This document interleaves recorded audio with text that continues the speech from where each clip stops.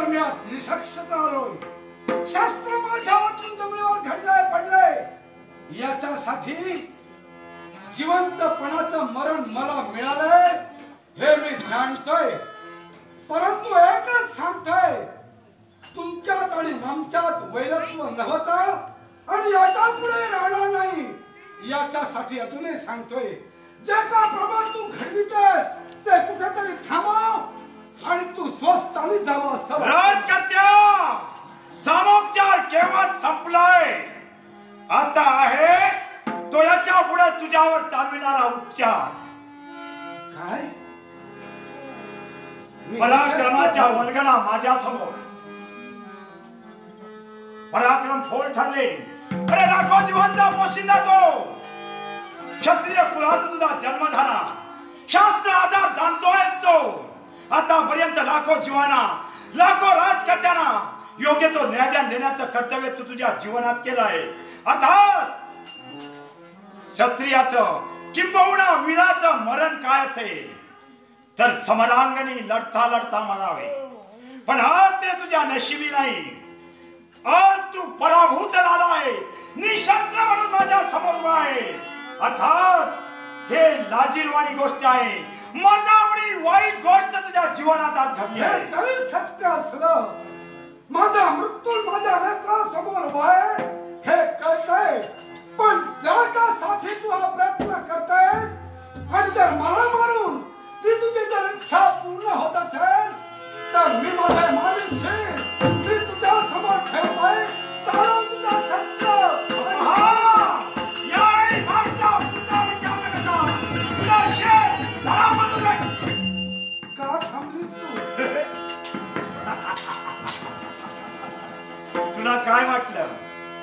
सहजा सहजी तुला मरण देईन मी. बोलण्याचा भावार्थ नाही राजकर्ते राजशेखर तुझा एक पुत्र सिद्धार्थ माझा बंदिवान होणार.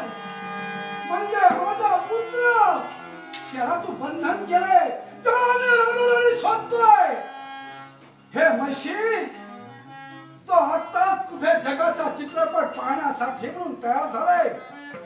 तुला जे काय केलं त्या सध्या माझ्या बाबतीत कर.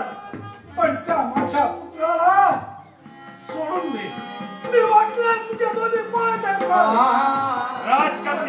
सोडून दे. पुत्राच्या बाबतीत भावी आयुष्याची स्वप्न तू तुझ्या जीवनी रंगविली आहे. माती मोल झाली ती सारी स्वप्न. पण मी विनंती करतोय. वाटल्यास माझ्या जीवाचे तुकडे तुकडे कर. परंतु माझ्या पुत्राच्या केसाला हात जोपर्यंत बंधू वधाचा सूड घेत नाही तोपर्यंत माझ्या मनाला स्थिरता नाही याच्यासाठी. गुहेच्या ठिकाणी बंदिवान करून ठेवलाय मी त्याला? ना अन्न ना पाणी परांगा विकाराप्रमाणे वागतोय तो. यावेळी काय करणार आहे? तुला सहजासहजी ठार मारणार नाही म्हणजे? तुझ्या नेत्रासमोर. बोलण्याचा भावार्थ. तुझ्या नेत्रासमोर. तुझ्या त्या पोराचं शिर दरापासून वेळ गेला मी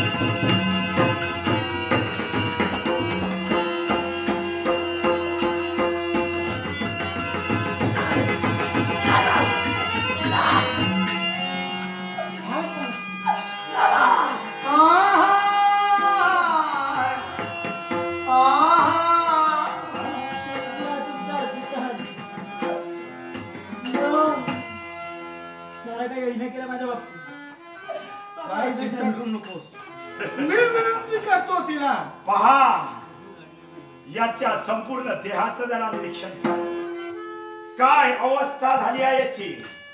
मग याच वेळी या क्षणे मागचा विचार करता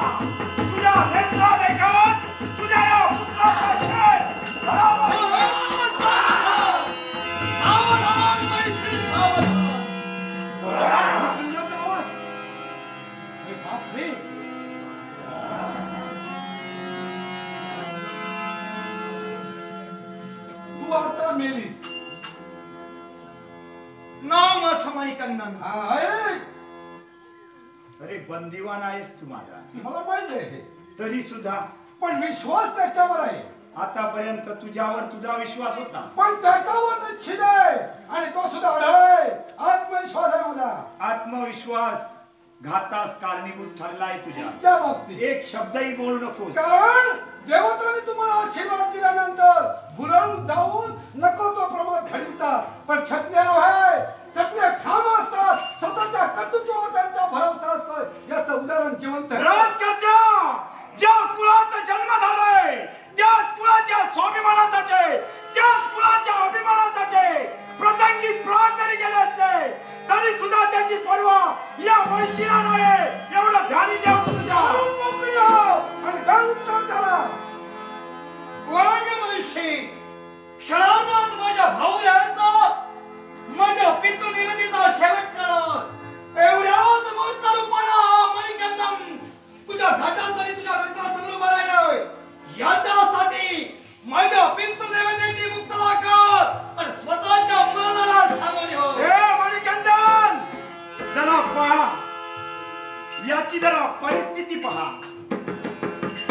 याची जरा परिस्थिती पहा.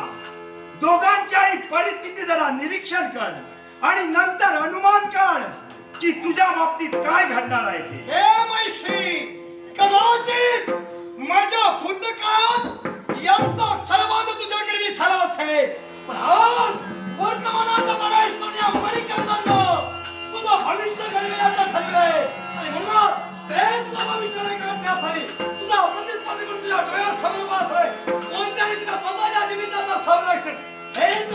सांगायला पाहिजे. मणिकंदन भविष्याच्या पूर्ण गर्भात काय वाढून ठेवलंय? हे कुणालाही सांगता येणार नाही. पण पूर्ण आत्मविश्वास माझा माझ्या पराक्रमावरती आहे.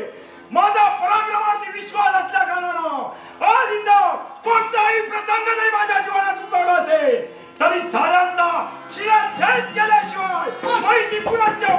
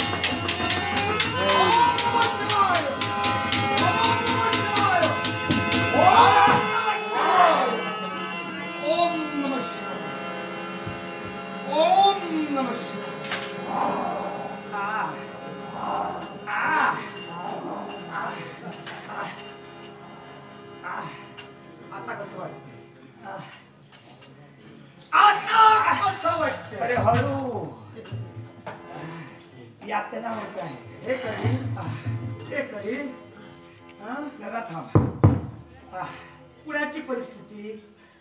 साधं काही सांगा. अरे हळू सावकार. यातना होत आहे हे काय विचारायचं? नाही शंका आहे मनाच्या ठिकाणी. हा ए नारदा. हे नारदा? उभ्या शेळीच्या नक्षत्रा? सपाट पायाच्या. कुणाला? आग लावा. हो. माझ्या काही अरे, म्हणशील हळू ऐकून तरी घे. हळू. हे म्हैसी अरे बोंबाल्या आग लावलीतली योग्यतेने पेटले अरे पितळी घेऊन फिरणाऱ्या. आणि? जास्त चालतो म्हणून गळ्यात लोडणं अडकविणाऱ्या काही? सत्यानाश केलास तू बोलशी त्याच्याही मुळाशी कारण आहे. कारण आहे? अखेर तर बोलून घेते. ही मरणापूर्वीची धडपड. काय झालं काय? तुला गुरुदेवतेच्या ठिकाणी पूज्य मानिलं. हो. वाटोळ. गेले ते दिवस राहिले आठवणी हे कसं शक्य झालं? शक्य? हा तर सामान्य आहे. माझं वरदान आगळं वेगळं. मृत्यांगही त्याच्यापेक्षा पहा ग म्हैसी. देव देतात पण देत असताना काहीतरी पाठी म्हणूनच ते. कपटी आहेत. असतील असतील. असतील त्यातीलच एक मी घटक आहे. अर्थात देवताना केव्हा तू जिथं जिथं गेलास ना तिथं वाटोळच केलं ज्यांचं की तुझं माझं हे. गुरुदेव म्हणजे काय म्हणायचं आहे ना? तिच्या बोलण्याला मन संदिग्ध होत अरे. एकच. हिला जे वरदान मिळालंय हे वरदान आगळ्याने वेगळं होतं. कोणतं तर असेल हरी आणि हर यांचं मिलन झाल्यानंतर जो पुत्र जन्माला येईल त्याच्या हस्ते हिचा मृत्यू. अर्थात आज आहे मणिकंदन. हिला हा जो मृत्यू लावलाय तो तुझ्या हस्ते असणाऱ्या शस्त्रानं ही तिच्या मनाची शंका निर्माण झाली. आई मैसी देव आणि दानवेश्वर यांचं सागरमंथन झालं. या सागरमंथनातून चौदा रत्ने जी बाहेर पडली. त्यातील एक रत्न म्हणजे अमृत या अमृताची वाटणी देव आणि दानवेश्वराला करण्यासाठी तत्पर झाले ज्यावेळी देवतांना दिलं जात होते ते अमृत आणि दानवेश्वरांना दिलं जात होतं ही मदिरा असंही असताना देवतांच्या पंक्तीत बसलेले भोलेनाथ यांना मोहिनी रूप धारण करणारे वैकुंठीच्या नारायण अमृताचा कलश ज्यावेळी भोलेनाथांच्या सामोरे नेला अमृत देण्यासाठी तत्पर झाले. पण भोलेनाथांना ते मोहिनी रूप पाहून मोहित झाले. आणि मोहित झाले असताना वैकुंठीच्या नारायणानं अर्थात त्या मोहिनीनं जाणलं. म्हणून तिने मार्गाला मार्गक्रमण करत असता सहजासहजी भोलेनाथ त्या मोहिनीवर मोहित झाले होते. आणि त्यांचं वीर्य पतन झालं. आणि ते पतन झालेलं वीर्य पंदल नगरीच्या ठिकाणी असणारं सरोवर. या सरोवराच्या ठिकाणी ते पडलं गेलं. आणि आता प्रश्न निर्माण झालाय तो आगळाने वेगळा. राजन पहा. स्वतःच कर्तव्य परिपूर्ण पार पाडत असताना अरण्याच्या ठिकाणी तुमचं जाणं झालं होतं. बरोबर आहे. म्हणा. आणि तिथे जो घडलेला प्रकार तुमच्या मुखातून आम्हाला ऐकायचा आहे देवर्षी हा. सूर्योदयापूर्वी मी अरण्याच्या ठिकाणी सरोवरात